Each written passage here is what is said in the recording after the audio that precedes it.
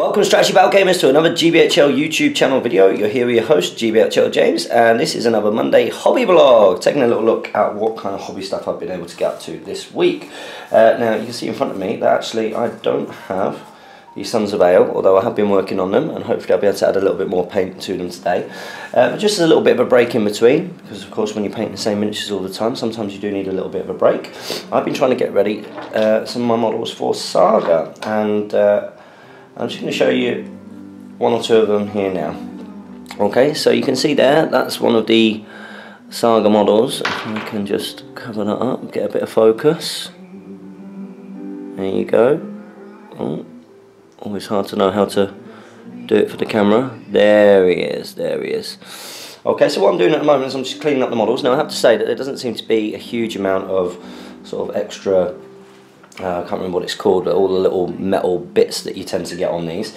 Uh, this guy is holding a banner. He's pretty cool. Uh, proper sort of Saxon windsocky kind of banner, which is very cool. Uh, now, one thing I will have to do is, and I'll go through now, is you'll notice that if you look at the bottom of this guy's feet, again, if we just let him get into focus, uh, they look a little bit clumpy. And the reason for that is that these models don't actually come like that. Uh, as with a lot of historical miniatures, if I get out another one, so I've had these ready. As with a lot of historical miniatures, you tend to see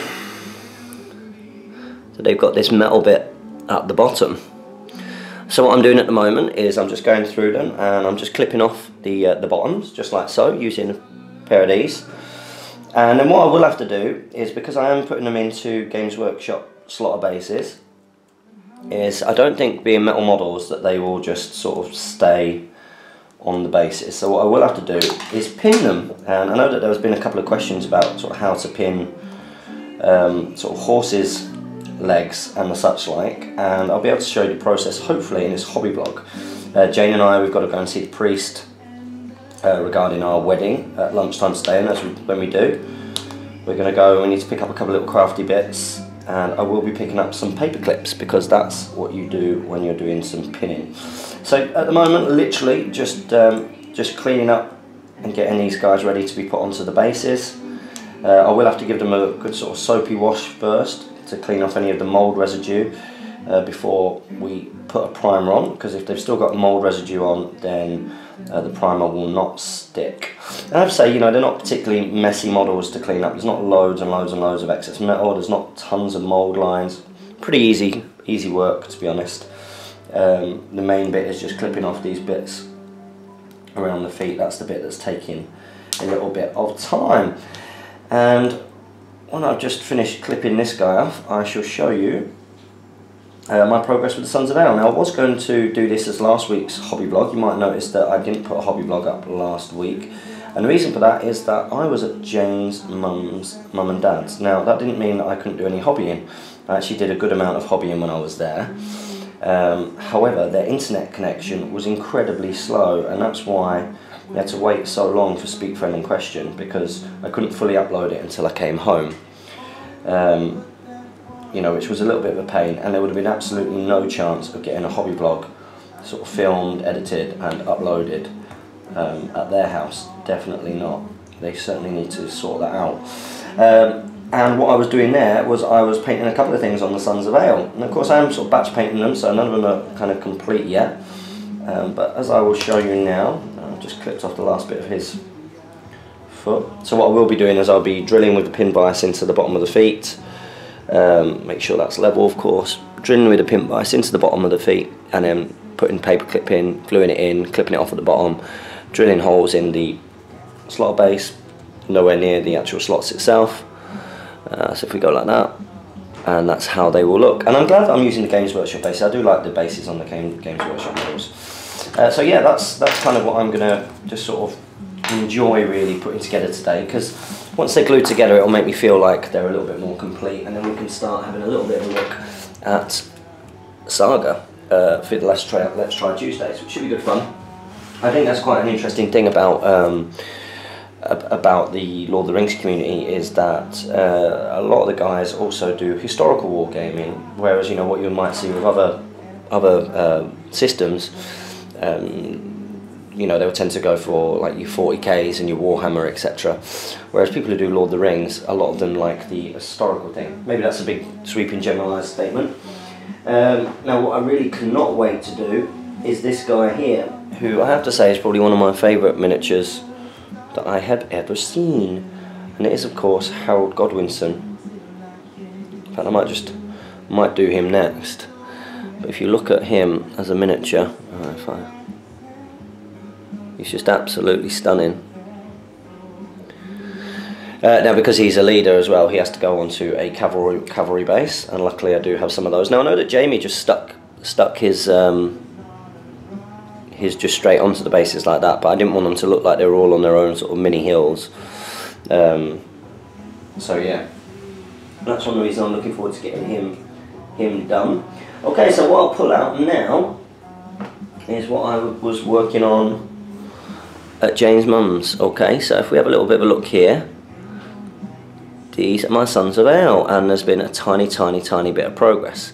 So as you can see, hopefully you can see, is while at Jane's mum's, I started the first highlight of the horses. So that's why they look a little bit brighter. So I've just gone over the raised areas again with the base colour after they were inked.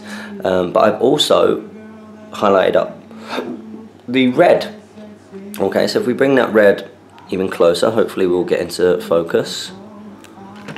So let's see what we can do here. There we go. Okay, so all I did was I started off with, I believe the colour is Khorne red. Uh, I believe Khorne is a Warhammer and 40k blood god of some kind. So I started off with Khorne red as the base colour.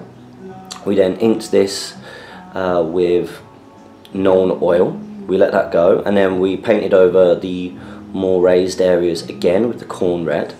I then mixed the 50-50 of the Khorne red with Mephiston red which is slightly brighter. And then I did a slight highlight with the Mephiston red. And then finally I actually mixed a little bit of an orange colour which I can't I think it's Jokaero orange if that's right um, with the red to just give those final sort of little lifts. I don't know if you can see them there in the red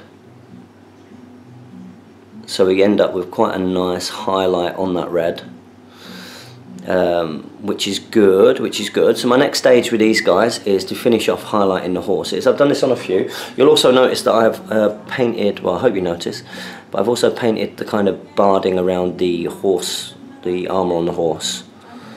Um, so I've gone for sort of like a leathery colour there. I'm quite keen to make sure that I've got some quite a lot of different browns on these guys. And hopefully they're going to look dead good when they are finished. Um, got a couple of others here. I, I did manage to do it with them all so we can show off let's see if we can we can show off a couple of them so this is a different Son of Eorl and hopefully you can see that the red seems to have turned out pretty good.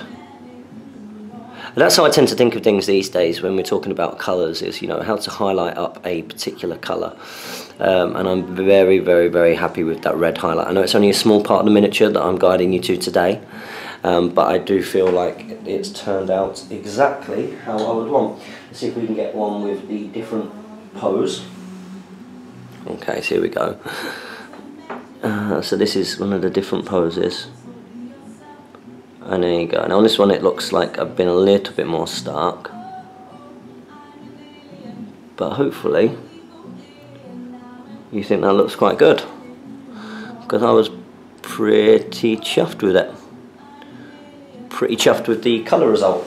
So uh, while I was painting the reds um, I decided to experiment putting my first colour back over the the Rivendell Knights cloaks.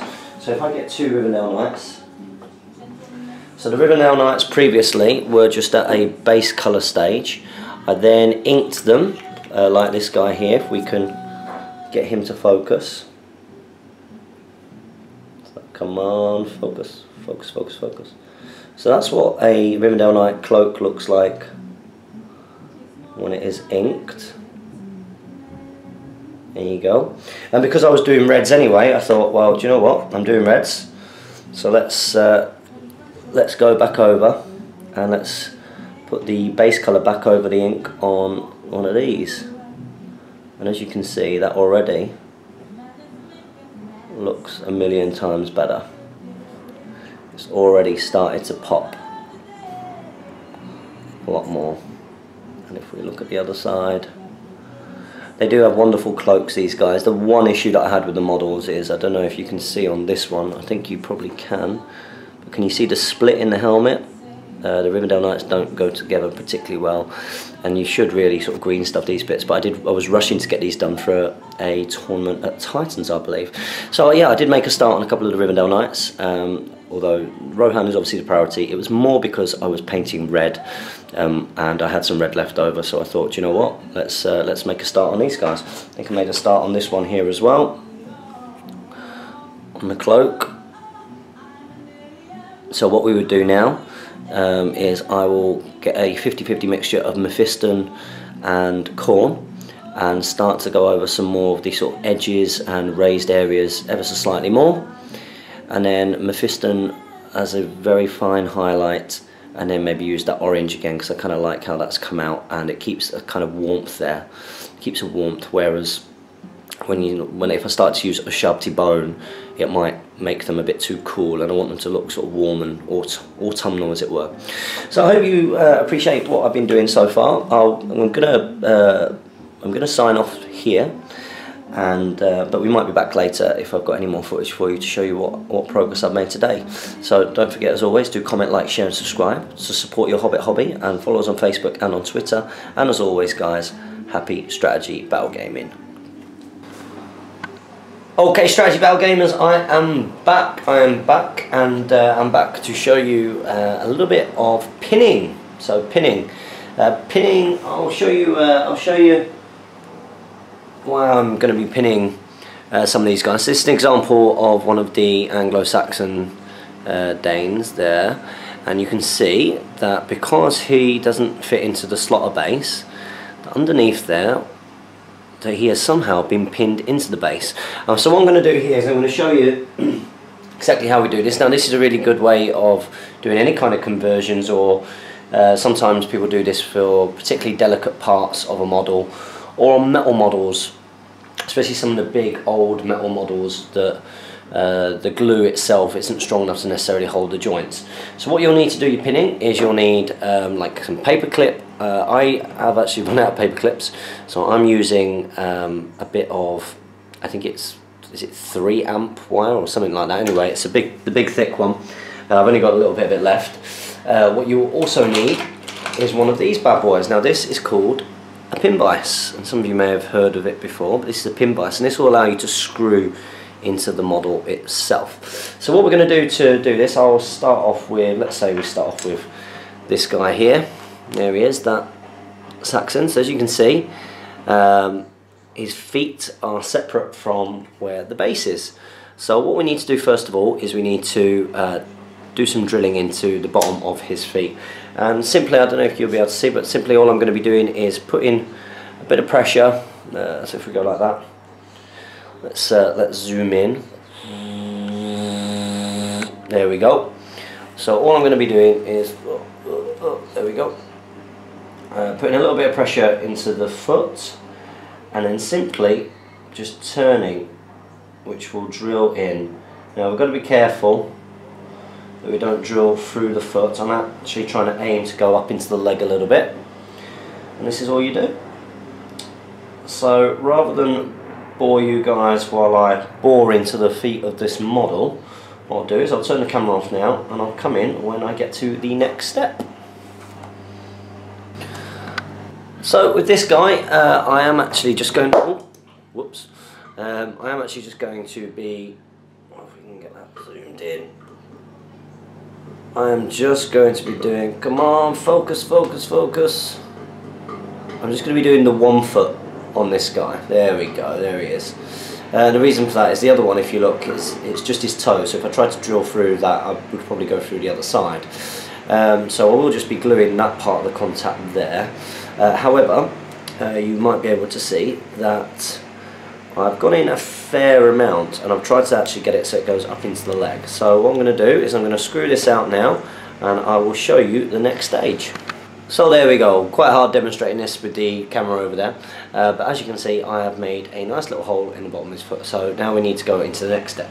And the next step is, uh, I have actually used a drill piece which perfectly fits what would be a paper clip, and you'll see that when I push that in, that gives me a little bit of purchase just like that okay so I've not actually gone as deep as I would like there so I'll probably do a little bit more drilling but I will, what I will be doing next is I will probably clip that about half a centimetre um, to a centimetre uh, before making sure that it actually glues in there and that will be my next step so we'll come back when I've done that. So now that I've just drilled that extra little bit of hole in there the next stage is actually putting the clip itself in. So if I can get my super glue sorted I will show you that now. Um, I don't think I can get my super glue sorted for some reason. Sort that out before we move on. There we go. Okay. So you can see here that I have clipped off just a tiny, tiny, tiny, tiny, tiny little bit of the uh, paper clip, as it were. And what I need to do now is I need to have that glued in to the hole. So I'm just going to put a little bit glue in the hole Oh, say a little bit. Try not to overdo it. And now there's some glue in the hole, I'm just going to stick the paper clip into the hole as far in as it can go. And then once that's in, I always like to use, where are we? There we are. I always like to use a, an accelerator to try and um, make it glue straight away. There we go. So what we need to do now is we need to line up with where it's going to be on the base itself. So if I can get the base here, there we go. Okay. So of course I don't want this to go in the slot itself, it needs to be somewhere else. Okay. So roughly line it up where you want it to be. Now if you're doing this on both feet then it's important that you have got a clear marker where they're going to be uh, equal from each other because this is only done in one foot and I should be okay. But what you would normally do is maybe dip that into a little bit of paint and then just pop it onto part of the base there so you know exactly where it's going in and of course if you do that on both feet then you know exactly where your holes need to be. But I should just be able to get away with doing a little bit of drilling here. Uh, so I'm just going to drill a bit of a quick hole into this base, should be nice and easy. So there we go, and as you can see when I'm drilling, uh, just the way that it is, just hold it and drill right through, just like so, easy peasy. So that hole should now be perfect, or a perfect fit. Uh, I don't know if you can see there. Uh, let's have a little look. Can you see the hole? Just about. There you go. That should be a perfect fit for the paper clip to go through. And there we go. So what I need to do now is I need to make sure that that's going to be secure. Okay, so you'll see that underneath the base, uh, again if we can let that focus, underneath the base the pin is sticking through the hole there we go okay so what I'm going to want to do now is when I've got him in position to where he wants to be I'm just going to pull that down to a side. Doesn't matter which side really. But that's just to kind of secure it in place and it will look a little bit like that. So now I need to actually put some glue on. And what that's going to do is it's going to make sure that this guy is pretty well secured to the base which is of course what we want. Um, but before I do that I'm just going to take it out of the hole put some glue on the feet. Because of course we need some glue on the feet before it goes in and I'm also going to put some on the paper clip itself and then stick that in oh whoops go in there we go. And then hold that in position there. Now that's in a position that I kind of want it to be in, without gluing my fingers together, I'm going to use my accelerant to make the glue stick near enough instantly. Which means that then, using my hobby clippers, I can pull that round into a nice position there, underneath and when it's somewhere secure I'm going to put some glue round on this side as well. And that's just to really make sure that that's not going to come out of place anytime soon. There we go. So that is how to do a little bit of pinning guys. Okay, just some basic stuff there. You can do it with coarse ankles, you can do it with conversions. Um, but what that means is that this guy, even though he's not as part of the slotta base, he's a little bit more solid. So he's probably not going to go anywhere anytime soon. So I've got to do that with the rest of these models now and uh, we do have Jamie coming over for tea tonight so I'm not sure if I'm going to get any more hobbying done in the next hour outside of that. Um, so for certain now I think I will be saying make sure that you comment, like, share and subscribe, that you support your Hobbit hobby and you follow us on Facebook and on Twitter. I hope you enjoyed this hobby vlog and maybe learned something along the way and got to see some different models uh, while I give myself a little bit of a break from the Sons of Eorl. Guys, happy strategy battle game.